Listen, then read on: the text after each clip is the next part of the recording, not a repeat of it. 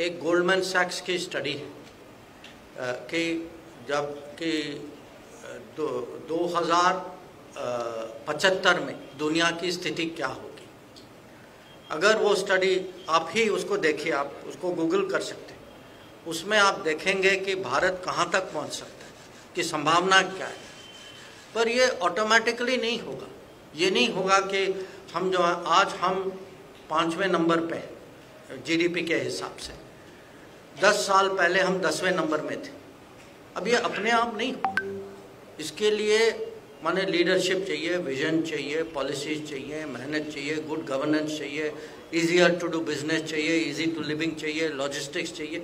तो ये सब इसकी संधि जो है ये सब मिलजुल कर हम वहाँ तक पहुँचते हैं।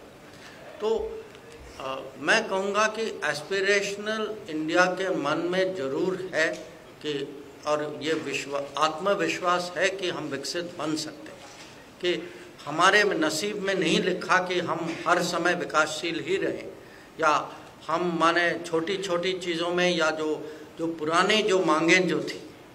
अब एक समय था तो लोगों को लगा कि बहुत बेसिक चीज़ हमारा हक है। अब जितना वो डिलीवरी हो गया, लोगों की एस्पिरेशन भी बढ़ती जाएगी, और ये स्वाभाविक भी है, और मैं कहूँगा एक किस्म से उसकी अपनी जस्टिफिकेशन भी। तो ये एस्पिरेशनल इंडिया को कैसे आगे ले जाए, उसकी एस्पिरेशंस को हम कैसे मीट करें? ये ये आज बिल्कुल हमारी सोच है।